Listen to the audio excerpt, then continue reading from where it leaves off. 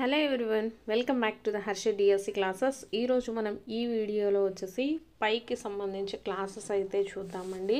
మనకు వచ్చేసి ఈ విద్యా దృక్పథాలలో చాలా చాప్టర్స్ అయితే కొంచెం మారుతూ అయితే వస్తూ ఉన్నాయి. సో వాటికి తగ్గట్టుగానే మనము ఈ వీడియోలలో మనకు రీసెంట్గా మారినటువంటి సిలబస్లలో నుంచే బిట్స్ అయితే తీసుకోవడం జరిగిందండి.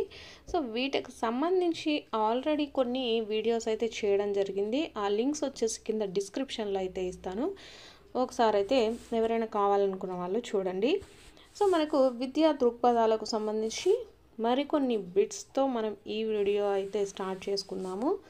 ఫస్ట్ది వచ్చేసి విద్య అనేది ఆప్షన్స్. ఫస్ట్ వచ్చేసి అక్షరాస్యత ఆప్షన్ టూ జ్ఞానము ఆప్షన్ త్రీ సిద్ధాంతీకరణ ఆప్షన్ ఫోర్ జీవిత పర్యంత ప్రక్రియ. సో మీరు ఆన్సర్స్ వచ్చేసి కామెంట్ సెక్షన్లో కామెంట్ చేసే వాళ్ళు ఉంటే కామెంట్ చేస్తూ ఉండండి. సో నేను ఆన్సర్ అయితే చెప్తాను. సో అలాగే వీడియో చూస్తున్న వాళ్ళైతే మీకు వీడియో నచ్చినట్లయితే తప్పకుండా లైక్ చేసి సపోర్ట్ అయితే చేయండి. సో విద్య అనేది ఏంటి అంటే జీవిత పర్యంత ప్రక్రియ అండి. విద్య అనేది జీవిత పర్యంత ప్రక్రియ. So option four is the right answer. Next second question అయితే చూద్దాము. పాఠశాలల్లో పిల్లల హాజరు నమోదు గ్రామీణ స్త్రీల సాధికారికారితకు దోహదపడిన పథకం.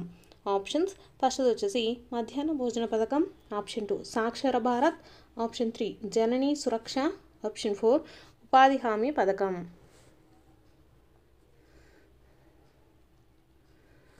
సో కరెక్ట్ ఆన్సర్ వచ్చేసి ఆప్షన్ వన్ అండి మధ్యాహ్న భోజన పథకం అనమాట పాఠశాలలో పిల్ల హా పిల్లల యొక్క హాజరు నమోదు. గ్రామీణ స్త్రీల సాధికారతకు తోడ్పడినటువంటి పథకం ఏది అంటే మధ్యాహ్న భోజన పథకం. నెక్స్ట్ థర్డ్ క్వశ్చన్ అయితే చూద్దాము. పాఠ్య ప్రణాళికలో ఎస్ యు పి డబ్ల్యూను ప్రతిపాదించింది ఎవరు? ఆప్షన్స్ ఫస్ట్ వచ్చేసి Adiseshaiah commission option two. Eswaribai Patel పంతొమ్మిది వందల డెబ్బై ఏడు కొటారి కమిషన్ ఆప్షన్ ఫోర్ వచ్చేసి సెకండరీ విద్యా కమిషన్. ఇది వచ్చేసి మనకు పంతొమ్మిది వందల యాభై ఏడు నుంచి యాభై మూడు వరకు అయితే జరిగిందనమాట సో దీంట్లో మనకు పాఠ్య ప్రణాళికలో ఎస్యూపీడబ్ల్యూను ప్రతిపాదించింది ఎవరు? సో కరెక్ట్ ఆన్సర్ వచ్చేసి ఈశ్వరీబాయ్ పటేల్ కమిటీ అండి.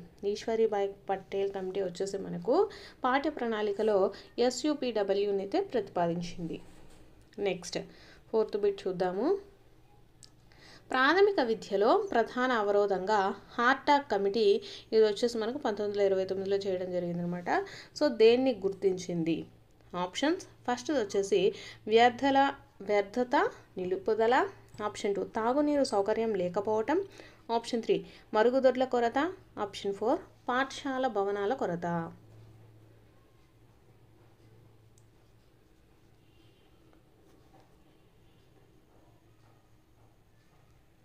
సో కరెక్ట్ ఆన్సర్ వచ్చేసి ఆప్షన్ వన్ అండి. వ్యర్థత నిలుపుదల వల్ల అనమాట ప్రాథమిక విద్యలో వచ్చేసి ప్రధాన అవరోధంగా హార్టా కమిటీ దేన్ని గుర్తించింది అంటే వ్యర్థత నిలుపుదల.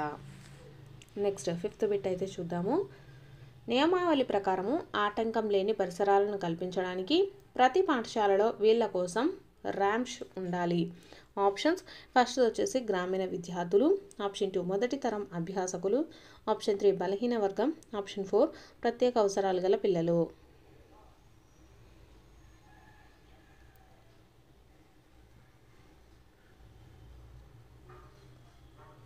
కరెక్ట్ ఆన్సర్ వచ్చేసి ఆప్షన్ ఫోర్ అండి. ప్రత్యేక అవసరాలు గల పిల్లలు అనమాట నియమావళి ప్రకారము ఆటంకం లేని పరిసరాలను అంటే వాళ్ళకు వచ్చేసి ఎటువంటి ఆటంకం కలగకుండా వాళ్ళకు తగినట్లు పాఠశాలలో వాళ్ళ కోసము ర్యాంప్స్ అనేది ఉండాలన్నమాట. సో ఎవరి కోసం అంటే ప్రత్యేక అవసరాలు గల పిల్లలకి.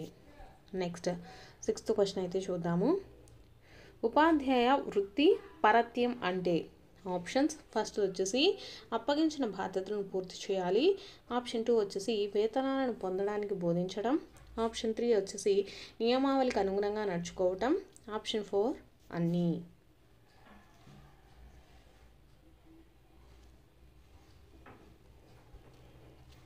సో కరెక్ట్ ఆన్సర్ వచ్చేసి ఆప్షన్ టూ అండి.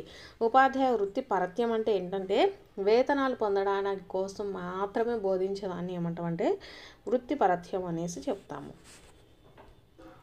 సో నెక్స్ట్ సెవెంత్ బిట్ అయితే చూద్దాము. భారత్లో ప్రపంచీకరణ మొదలైన సంవత్సరం. ఆప్షన్స్ ఫస్ట్ వచ్చేసి పంతొమ్మిది వందల తొంభై ఒకటి ఆప్షన్ టూ పంతొమ్మిది వందల తొంభై రెండు ఆప్షన్ త్రీ పంతొమ్మిది వందల తొంభై మూడు ఆప్షన్ ఫోర్ పంతొమ్మిది వందల తొంభై నాలుగు. సో కరెక్ట్ ఆన్సర్ వచ్చేసి ఆప్షన్ వన్ అండి. పంతొమ్మిది వందల తొంభై ఒకటిలో భారత్లో ప్రపంచీకరణ మొదలైన సంవత్సరం ఏది అంటే పంతొమ్మిది వందల తొంభై ఒకటి. నెక్స్ట్.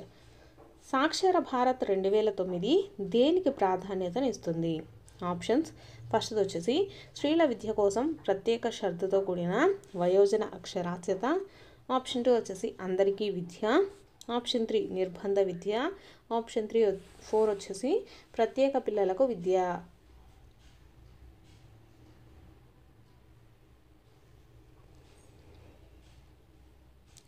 సో కరెక్ట్ ఆన్సర్ వచ్చేసి ఆప్షన్ వన్ అండి. సాక్షర భారత్ రెండు వేల తొమ్మిది వచ్చేసి దేనికి ప్రాధాన్యతనిచ్చిందంటే స్త్రీ విద్య కోసము ప్రత్యేక శ్రద్ధతో కూడినటువంటి వయోజన అక్షరాస్యత దీని యొక్క ప్రాధాన్యత. అంటే ఎక్కువగా ఇది దీనికి స్త్రీల స్త్రీ విద్య కోసం అయితే ప్రాధాన్యతనైతే ఇవ్వడం జరిగింది. నెక్స్ట్ నైన్త్ బిట్ చూద్దాము.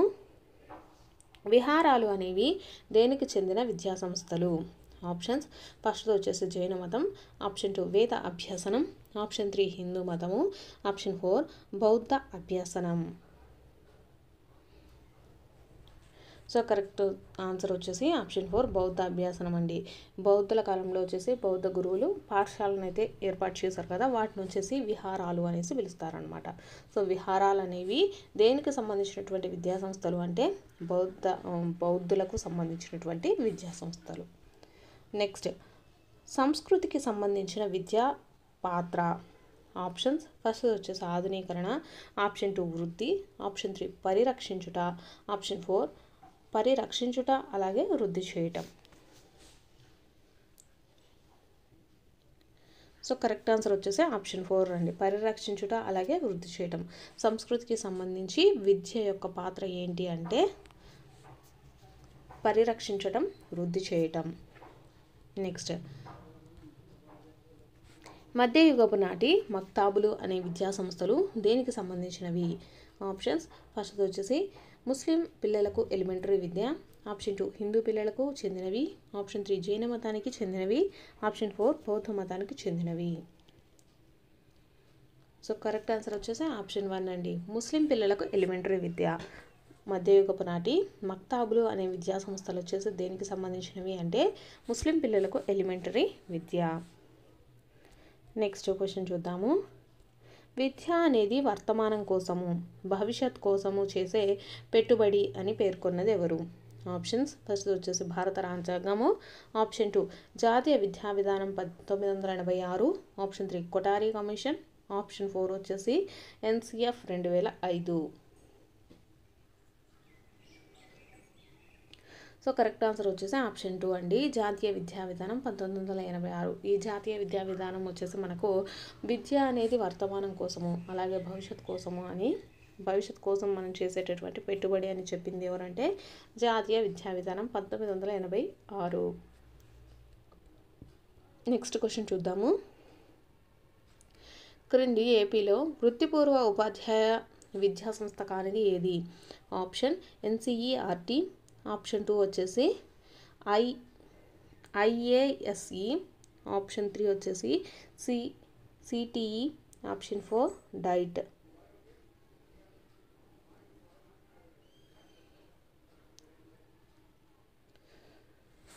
So correct answer వచ్చేసి ఆప్షన్ వన్ అండి. ఎన్సిఈఆర్టీ అనేది మనకు వృత్తిపూర్వ ఉపాధ్యాయ విద్యా సంస్థ కానిదనమాట నెక్స్ట్ పద్నాలుగో పెట్టి చూద్దాము.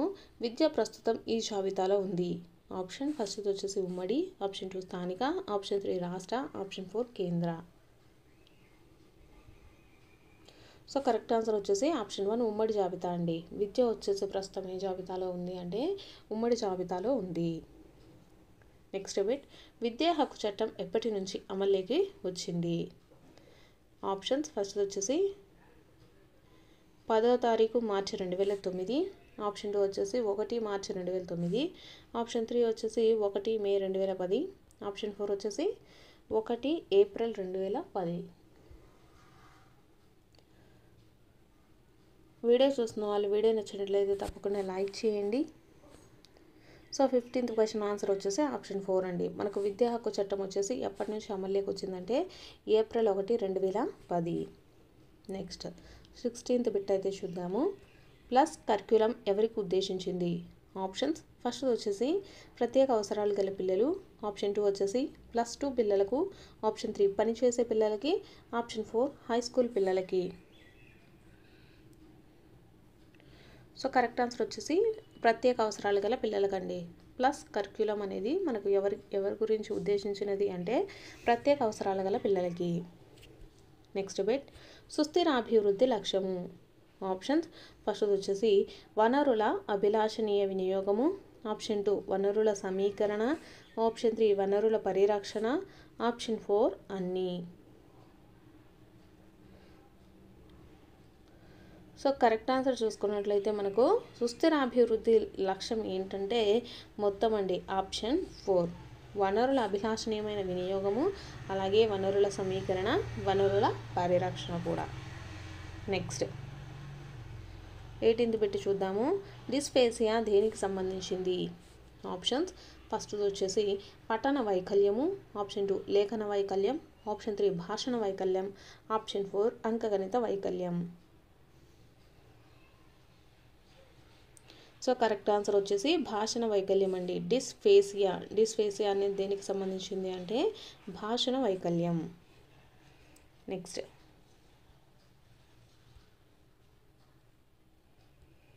ఎన్సిఎఫ్ రెండు వేల ఐదును రూపొందించింది. ఆప్షన్స్ ఫస్ట్ వచ్చేసి సిఏబిఈ ఆప్షన్ టూ వచ్చేసి సిబిఎస్ఈ ఆప్షన్ త్రీ వచ్చేసి NCERT option four NCTC so correct answer వచ్చేసి మనకు ఎన్సీఎఫ్ రెండు వేల ఐదును రూపొందించింది ఎవరంటే ఎన్సీఈఆర్టీ మనకు ఎన్సీఏఆర్టీ వచ్చేసి రెండు వేల ఐదు ఎన్సీఎఫ్ రెండు వేల ఐదును రూపొందించింది. నెక్స్ట్ బిట్ చూద్దాము. త్రీ ఆర్లు సూచించేవి ఏవి? మనకు త్రిబుల్ ఆర్ ఉంది కదా. సో దాన్ని సూచించేవి ఏవి? ఆప్షన్స్. ఫస్ట్ వచ్చేసి reading writing arithmetic. Option two reading remembering recognizing. Option three వచ్చేసి reading writing researching. Option four ఏది కాదు.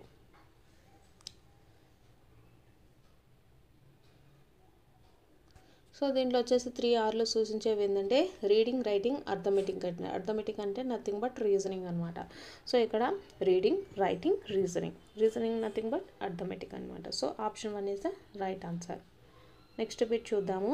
భారం లేని చదువు దీని శీర్షిక. ఆప్షన్స్ ఫస్ట్ వచ్చేసి యశ్పాల్ నివేదిక. ఆప్షన్ టూ కొటారి నివేదిక. Option three Ramamurthi commission. Option four ప్రపంచ అభ్యసన సదస్సు.